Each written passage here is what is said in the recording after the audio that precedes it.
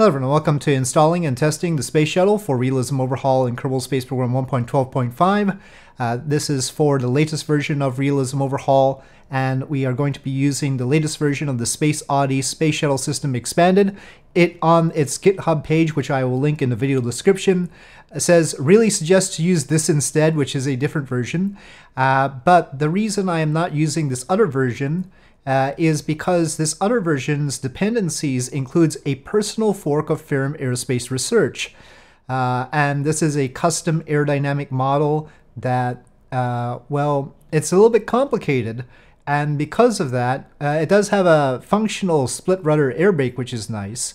Uh, so but there's a lot of work that was done here that is valuable. But if I want the install to do other things and be consistent with other people's results, with the regular Ferram Aerospace Research, because they're not doing special shuttle things, uh, I need to use the regular Ferram Aerospace Research, not a personal fork of it. Uh, so, yeah, I I will just use a SpaceODY one, even though that one is very tempting. And its requirements are ASET, and uh, this for the cockpit, uh, the props in the cockpit, and then JSI RasterPropMonitor also for the cockpit, J uh, KSP wheel for the wheels, uh, B9 part switch for the texture switching, which will become important, and Ferram Aerospace Research, the regular type. And that's what I'm going to be testing it with.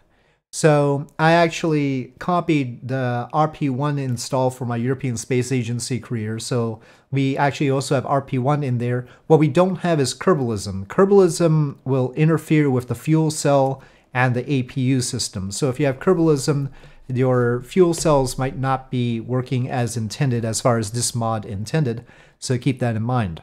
Uh, but yes, so the release is the version that was released on September 20th, 2022, and that's what we'll be working with. Now, during testing, I discovered that it wasn't able to hold a 40 degree pitch as intended, and that was possibly because the realism overhaul configurations for the space shuttle and these are in Realism Overhauls RO suggested mods slash space shuttle system, and the file is fuselage.cfg. Well, originally it had the COM of the crew cabin moved up front uh, forward by 0.6 meters, and also the COM of the cargo bay moved forward by 3.3 meters. And the net result of this is it was too nose heavy, and so having figured that out, I moved the COM back to where it was, so it's now 0, 0, 0 for both, and that works better. It can hold a 40 degree pitch, but it uses a lot of RCS. So I'm thinking that the next thing I'll do, and I haven't done it yet, it won't be in the video that I show you, uh, is probably cancel out the COL offset. Now this is for the cargo bay, not for the wings. Uh, but this is moving the center of lift further back, which also would tend to make it more nose heavy. So if we move that back to 000, that might help as well. And then uh, uh, because the cargo bay doesn't have actually that much lift, it should be all right, maybe. So I do recommend that you do these changes to the RO config for the shuttle if uh, you intend to use the SpaceODY shuttle. It is possible that these uh, changes were originally meant for an older version, and clearly th there's been developments since. So keep that in mind. Now, if you have an older version of the SpaceODY shuttle, you might end up with a spike on the nose. That's for Enterprise, and it's not supposed to be there for Atlantis, Discovery, Endeavour, etc. And that's because there's a conflict between the texture replacer file that switches between the textures for different shuttles, and there's one in the SpaceODY folder and one in Realism Overhaul, and the newest version of the SpaceODY shuttle ensures that its one takes precedence, but if you still have the problem, maybe you should try to delete the one in the Realism Overhaul folder. So that's in the suggested mods space shuttle system. Anyway, building the shuttle, you have the cockpit, you have the cargo bay, you have the engine mount, and you have the two wings. Each of the wings should have elevons, so the elevons are a separate part. Uh, and the wings also have the texture replacer on it so that you can pick the variant that is most appropriate for the shuttle that you're using. Check that your OMS pods have the helium in, so it should be MMH Mon 3 and helium. For the vertical stabilizer, this is still the old version that had a texture replacer problem. Uh, so it had the node in the wrong place. I that's probably been fixed, but if it's not, you can still surface mount the vertical stabilizer and it'll be fine. And so I surface mounted. But if you have the old version of the SpaceODY shuttle that uh, has this texture replacer conflict, you won't be able to take the SILTS pod off of the top of the vertical stabilizer as it has right there. Uh, you need to make sure that that conflict is resolved and you have the latest version of the SpaceODY shuttle. Uh, so you can put whatever variant of the RS-25s you have onto the shuttle and uh, depending on their nodes they might stick out so you might have to tuck them in but the angle should end up correct.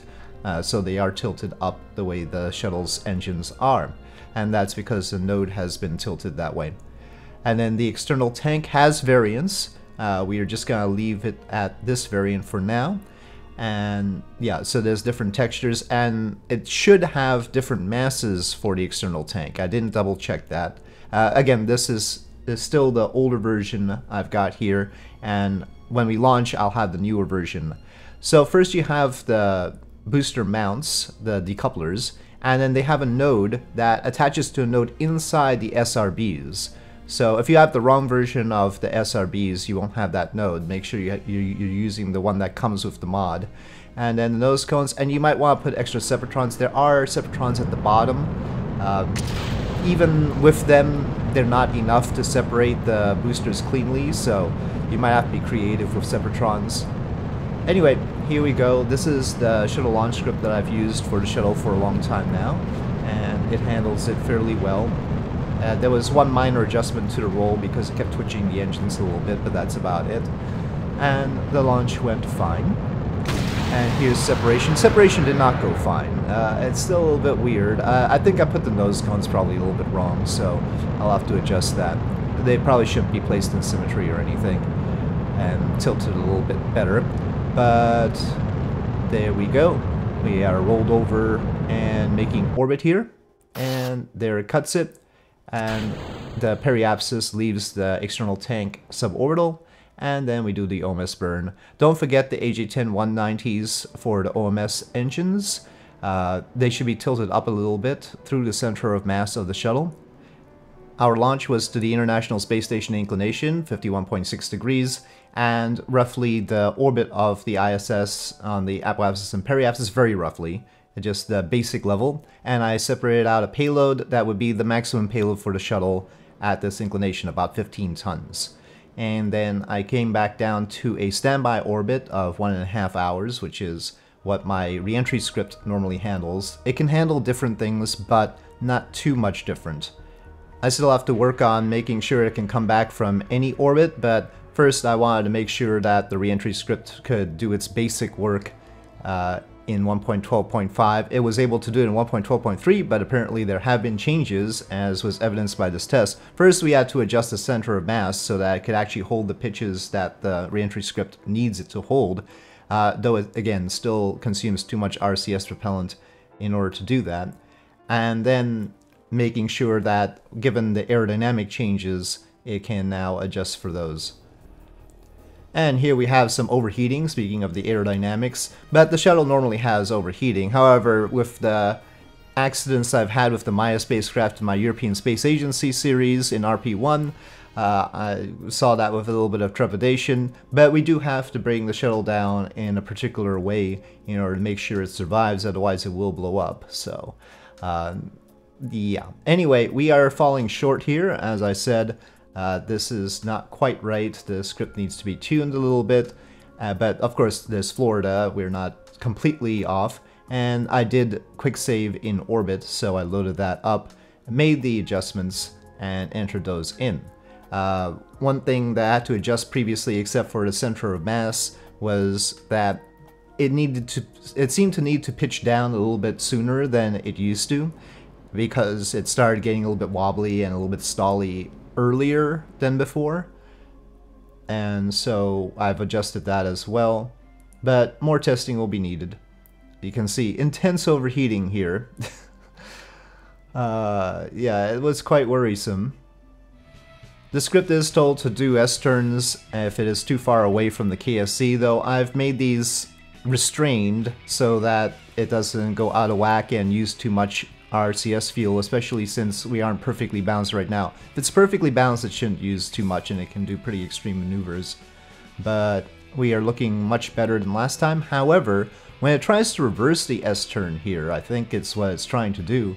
Uh, I'm not entirely sure, but uh, it seems to want to be trying to go the other way here, and it doesn't do a particularly good job. And I'm not entirely sure why it wobbles like this, and that was worrisome. This sort of deviation from the norm is going to get rather interesting, and it's going to be interesting to see KOS try and hold this despite whatever the heck is going on with the shuttle right now. You can see it's maxing, maxing out roll, yaw, and sometimes pitch, which is not good. But the previous time when we did the re-entry, it didn't do this, but that was because it wasn't going long, it was falling short, and so it wasn't trying to do S-turns. And you can see it's moved over to the opposite side of the prograde vector, and the target roll has gone opposite, but it went opposite at a while after it started getting sort of wobbly. So I don't know what the cause is, whether it was trying to go over to the other side on the S turn, or whether that was after it started to get wobbly. It seemed like it was after it started to get wobbly that the target roll reversed to the positive. But this is an interesting orientation for it to be in. Uh, it's uh, using a maximum amount of yaw here. I have to say the rudder, whatever the maximum amount of yaw is, the rudder sure see, doesn't seem to be doing a whole lot. I wonder if something has turned off the use of aerodynamic surfaces at high altitude or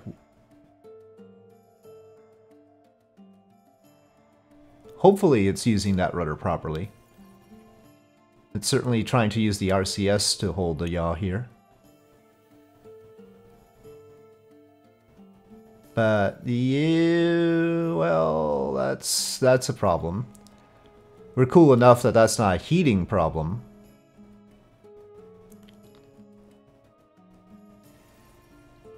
But yeah, it was very interesting to see it hold it despite all these issues.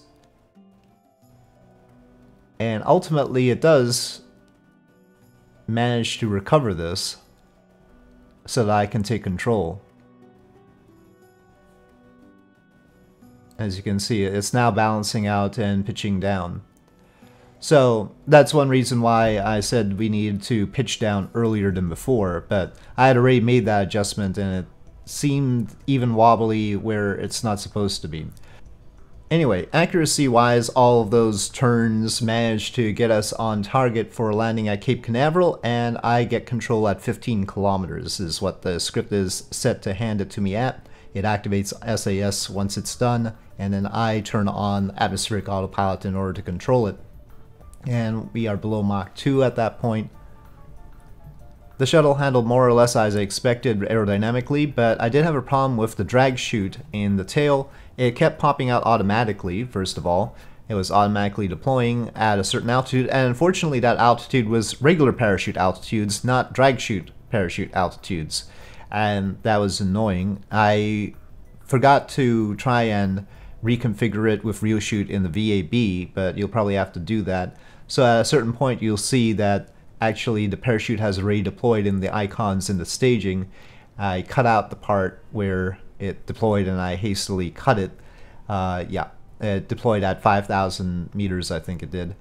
And I just cut the chute and got rid of it because otherwise it actually slows us down too much here. Though, I mean, in a way I could have used it a little bit because the split brakes on the rudder don't work. I mean, you, will see the animation if you apply brakes that the rudder splits, but it doesn't actually do any slowing down. Uh, now, that other version that SpaceODY recommended on the GitHub uh, that I showed, you know, with the custom aerodynamic model and the different version of FAR, says it has the split rudder working as brakes. So, yeah, that that one will have that functionality. This one does not. So you'll have to keep that in mind. And so that's why I was doing those turns ahead of the runway to slow down, but I didn't slow down enough because we didn't have enough time. And so I'm coming in a little bit fast here. And ideally you want to touch down at like 90 meters per second. We are, I, I'm trying to hover over the runway to bleed off speed here.